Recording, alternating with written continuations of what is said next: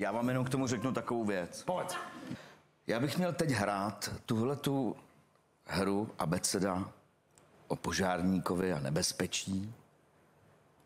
A mně je 54.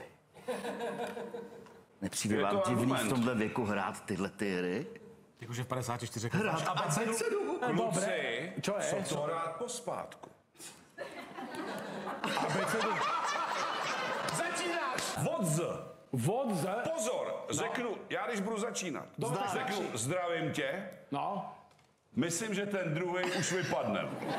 No, ja tu mám abecedu, čiže to budem kontrolovať, hej. Ja som si urobil backup.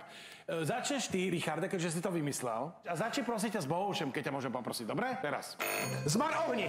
Chtěl bych vidět vaše hasící přístroje a to hned.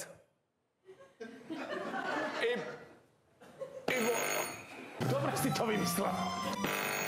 hoří!